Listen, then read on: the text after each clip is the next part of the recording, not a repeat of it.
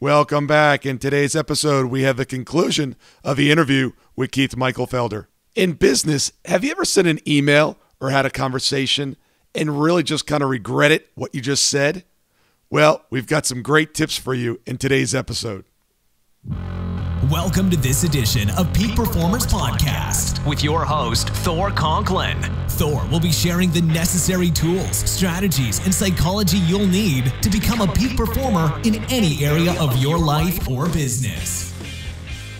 Thor Conklin here. We give you the tricks, the tips, the tools, the strategy, the technology, and the psychology peak performers use in order to get more done and execute at the highest level. If you know what to do but struggle with getting it all done, or simply want to raise your game to the next level, this podcast is for you. Sit back and enjoy.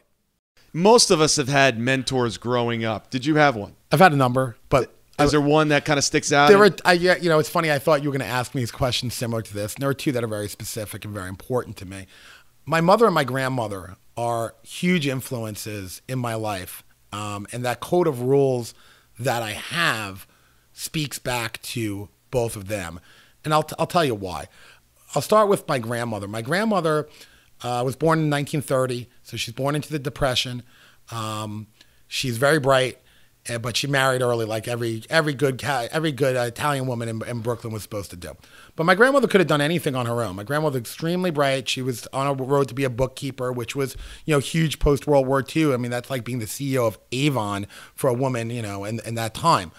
She, my grandfather was a very flawed, deeply flawed man, and uh, he made some unforgivable mistakes. So my grandmother was left with her her children, uh, being towards the end of adult children, a ton of debt, um, a big lien against their beautiful home on Long Island, and uh, a working resume that looked like in 1950 she was a bookkeeper, and here it is, you know, early 1980s.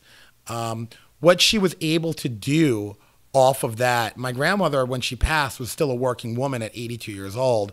She was able to raise those children correctly, provide them a home, get out of that debt credit crisis that my grandfather had put her in, have impeccable credit, and leave a legacy and leave an estate to the four children, which is really pretty remarkable given her layoff.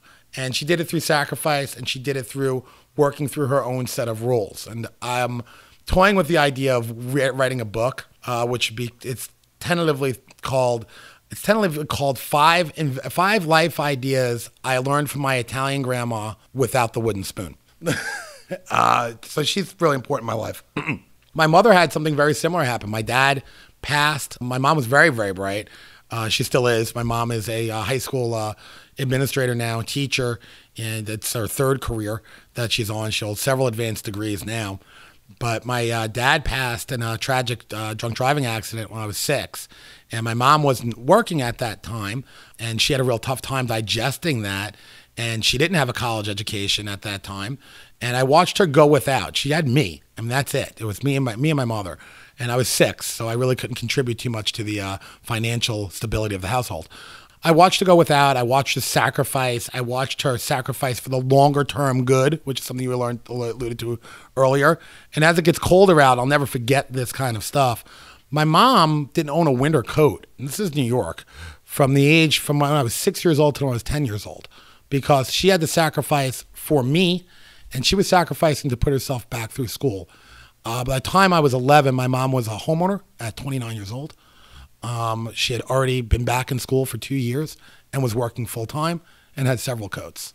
So, so those are important life lessons to walk away for, and that that idea of sacrifice and deferred compensation work when I do a financial plan for somebody or we do an investment strategy. That idea of saving for the longer term or saving so you have an exponentially better life is something I try to get across to that that, that client in my practice. That, that's great advice. You know, I always recommend to all my clients that they spend 100% of what they take in. And I'm going to be specific about this. I want you to listen to what I mean by this. Make sure that your money's going somewhere and that it's quote unquote spent. Now, a big portion of that needs to be spent into your investment fund. Investing in things that have the ability to one day be worth more. That's not a car. You buy a car, it's going to do what? Depreciate. You buy a meal, it's gone in 24 hours. Make sure that you're spending money in your investment area so that money's just not sitting around. I literally take it and I put it into a separate account. So when I get paid, money, certain percentage goes into that account and it's done. It's already quote unquote spent. So make sure that you're spending your money in areas that are going to return potentially investment to you in the future. Yeah, and that doesn't have to just necessarily be monetary. I mean, that can be self enrichment. Absolutely. Absolutely. I mean, look, Says the some of best financial inve- advisor. no, I mean, no, look, I mean, look, if your psychology is not where it needs to be, invest in yourself. I invest in myself every single year. You know, I want to point something out about what you said about uh, Tony Robbins. A lot of people on this show know Tony, uh, uh, drink his Kool Aid, or, you know, they're Tony lovers. You've never been to one of his programs. You've never heard him speak other than probably the internet. And you're definitely not a quote unquote Tony fan uh, or part of his fan club. So it's interesting that you said that his investment book, Money, was made an impact on you. Oh yeah, I mean, it, if I think it's one of the books that you need to own um, as a as an entrepreneur. I think you need to own that one. I think you need to own Think and Grow Rich. I think you Yeah. need to own some of the Og Mandino books. This is an important one because this one's practical. It's it gives really good, prac- strong practical advice, and it strips away again one of the the C's that I'm, I keep talking about: cost. It strips away the cost too, Yeah. which is which is important. Yeah. And, and he spoke to what? 50 of the, the richest, uh, most admired investors in the world? Was it? Was that the number? Yeah, I believe it was fifty. Um, I'm the three quarters through the book right now. Yeah. Uh, and, and it would cost you what? 29 bucks? So for 29 bucks, you can find out what the 50 of the greatest uh, investors in the world think. I downloaded it to my Kindle for eight dollars. Yeah, I mean, you know, but see, here's the here's the funny thing is, people aren't going to invest eight dollars to learn what people that probably have a net worth of a, over a trillion have to say. I uh, I can't afford eight dollars. If you can't afford eight dollars to buy a book, we've got an issue. That same person was likely buying spending eight dollars to buy a shot of Jameson. Too, you know, Absolutely. So All right, here's a question that my team just asked me a couple days ago. They're like, "You never ask people this this question." I'm like, "No, I don't." So I'm gonna I'm gonna ask you, what is the worst email that you ever sent? one I haven't thought about, and I'll explain what I mean by that. No, I'm very serious. Um, two things. When people write an email, this is important. Uh, if you write an email in business, you know what a lawyer calls that? Evidence? Exhibit A. Exactly. Exhibit A. Exactly. So when you're writing an email, whether you're writing it to uh, a friend, uh, a girlfriend, a colleague, a business, take an, if, if anything that's emotionally charged, take an hour and think about it. Do not hit that send button right away. So the worst emails I've ever sent are the ones I haven't thought through. Yeah. Yeah. We just did a podcast on the difference between re- uh, reacting and responding. And on first, you know, blush, it's like, well, what's the difference between responding and reacting? Big difference. Reacting is boom, response is Hmm. I'll tell you what I do. I have an, I do have a what do you call it standard? I have a rule for it, but you, you call it a standard. My standard? I have a standard for it because we all we all get a little hot under the collar, and uh, I've had a recent run in with a vendor who I just think is just completely wrong, and this is on the construction side of my business, and he is. But what I did was when I wanted to respond in an emotional fashion, and I do this a lot, I'll send the text to myself first.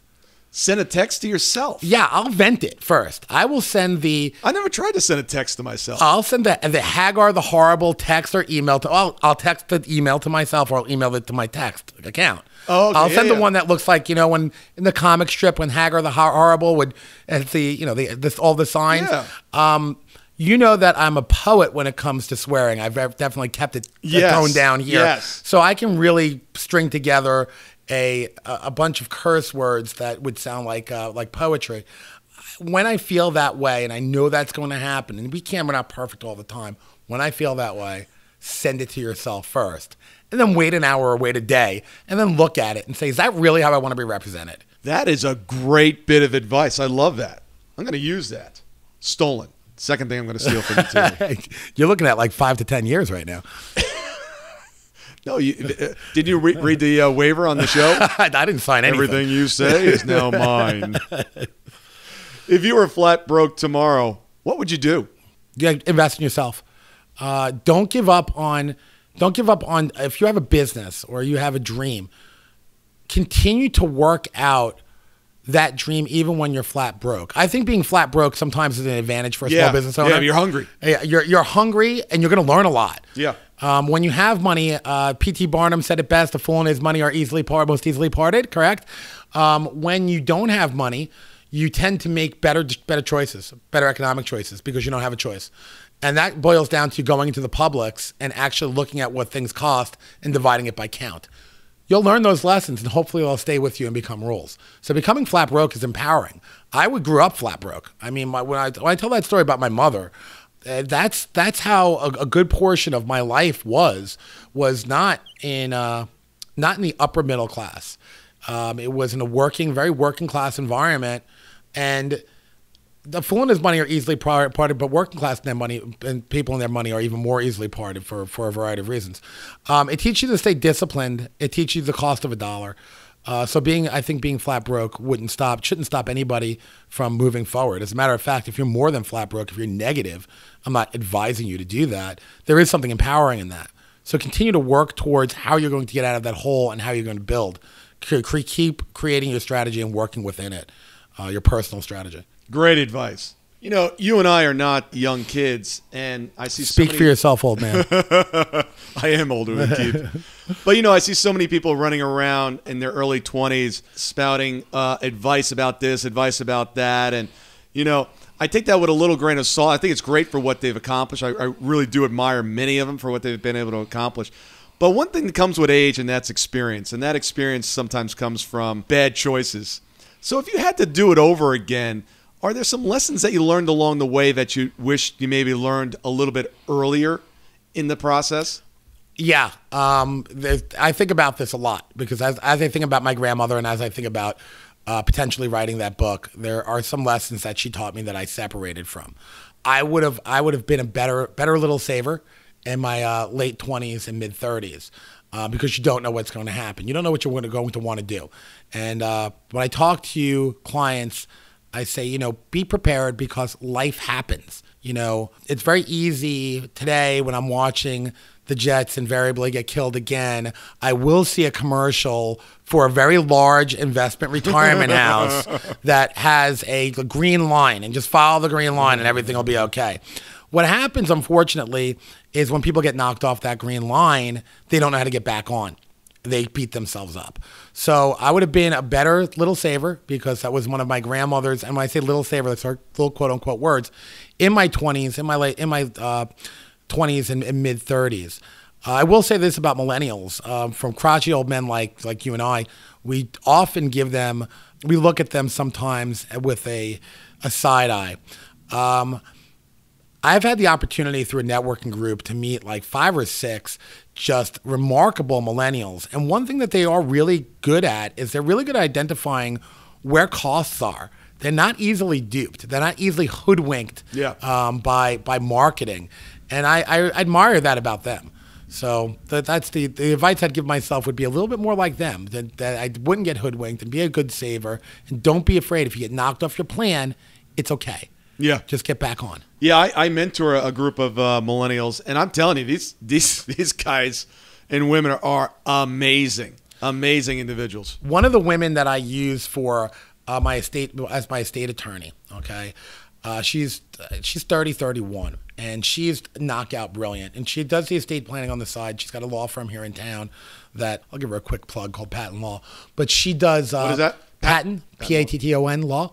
She does the estate planning for a number of our, our clients, the uh, the legal part of it. She doesn't actually do the investment part. Let's be clear, uh, but she also advises startup companies here in Atlanta, and some of the some of the ideas and some of the business plans that she's shown me are so far advanced to the tech business plans that I was looking at when I was, you know, back in 2003, 2004. So it's really remarkable what they're they're accomplishing and what millennials are accomplishing and how heady they are and how uh, market savvy they are. Not only the stock market but the overall consumer market. Yeah, I, I, I definitely agree.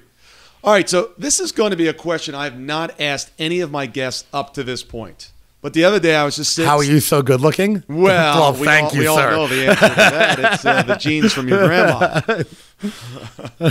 uh, no, I realized that really in life we're all looking for happiness, success, wealth, to be healthy, and to be wise. So I thought, well, if we're all looking for those things, why don't I just ask my guests, what's the secret to being happy, successful, wealthy, healthy, or wise? It's an interesting question. I'm going to tell you that you're not the first person to come up with that idea. Uh, a friend of mine, she's a nurse practitioner. When she sees people who are married more than 15 years, she asks them, "What's the secret?" Yeah. that's a derivative Yeah, of yeah. this.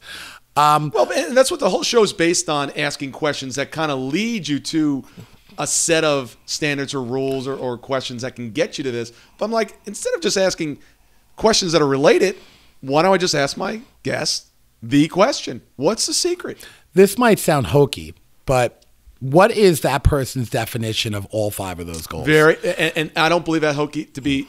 I think that's absolutely the first question you have to ask because happiness to me is not going to be happiness to you. and it and it and it does uh, it evolves over time. It does. Um, I have a close friend of mine from college. Uh, we were housemates a million years ago in college in uh, 1997 at Allegheny College, and uh, two vastly different people. Okay, um, you know he was, uh, you know, he's basically he's a hippie. You know, that's the only way I could really put it down. So uh, a couple of years, a couple of months after graduating, about a month after graduating, Phil, his name's Phil, he walked the Appalachian Trail. Um, and he, he completed here at, at Stone Mountain, but he walked from Maine down to Stone Mar- Mountain, and he decided his next act was going to enter the Peace Corps, and he went to uh, Mauritania. And before I left for Mauritania, uh, I got a chance to get up with him, and I was just about to start my career uh, at a firm in in New York uh, on Wall Street as a rep. And I'm like, wow, you just walked, you just walked from Maine to Georgia. This is such a foreign concept to me at 20, 21 years old. And now you're going to Africa to dig wells? You're crazy. And he said to me, you just studied for a test for eight weeks, didn't leave your didn't leave your apartment, and now you're going to work in a concrete jungle. You're crazy. So it really depends on what your what your perspective is and what's important.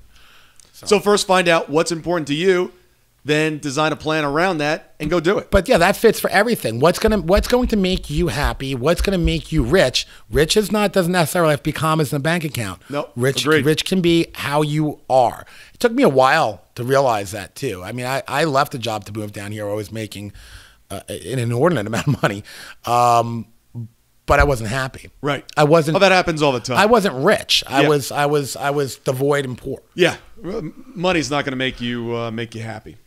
So Keith, uh, share with the peak performers how they can get a hold of you if they have any questions and uh, email, website, etc. Yeah, I hope your uh, your listeners have a pen if they're going to jot down my email. My uh, And my- it'll be in the show notes as well. Okay, yeah. My last name is uh, incredibly long. It's 12 letters. So uh, my email address is letter K like Keith, M I C H E L, F like Frank, E L, D like David, E R, at Forte, F O R T E, capitalgroup.com. You can also visit our website at fortecapitalgroup.com. Uh, we'll be opening our doors officially on Monday. We're very excited about that. So uh, tomorrow we'll be into our uh, Forte Capital Southeast. We have a location that's uh, located on 80, uh, 80 Broad Street right now in New York in the financial district, and we'll be hopefully expanding throughout the uh, throughout the country over the course of the next uh, upcoming years. I appreciate it, Keith. Oh, Great, man, great job. fun.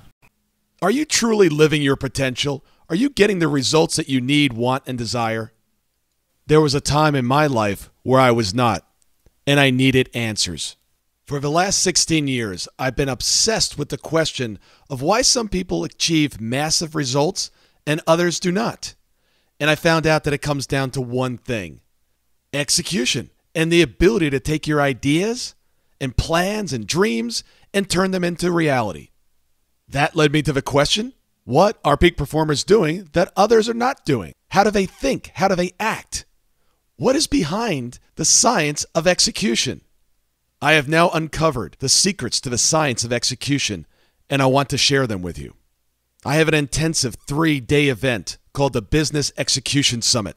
If you are truly committed to taking your game to the next level and mastering the science of execution, the most important skill that you will ever acquire, simply take your phone and text the word BE Summit, one word, to 41411, and I'll send you out some additional information on our upcoming event. Thank you so much for listening today. I really do appreciate your time, and I hope you found today's show valuable. If you would like to receive these shows automatically to your phone or to your computer, simply go to iTunes and subscribe. After listening to several of the shows, if you're so inclined, please leave us a five star rating, as this helps us reach additional people and spread the message. If you're truly committed to taking your life to the next level and doing whatever it takes to become a peak performer, but something's holding you back, something is blocking your way, and you just can't seem to figure out what it is, send me an email to info at thorconklin.com. And I'd be more than happy to get on the phone with you. We'll schedule a 15 minute discovery call. No obligation, no cost. I absolutely love to hear from the listeners. And if there's something I can do to help, I'd be more than happy to do that. Also, if you found something of great interest in today's show and you want to share that with your friends and family, simply go to my Facebook page, Thor Conklin, click on the episode, hit the share button, and share it on your page. You can follow me at Twitter at Thor Conklin. The website is thorconklin.com. We're constantly adding new free resources, discussing additional tricks, tips, tools, and strategies on how to be a peak performer. Remember, I try to keep these episodes short so you can listen to them during dot time, doing other things, commuting, driving, walking, working out. Decide to be a peak performer in all that you do. And until tomorrow, have an absolutely amazing day.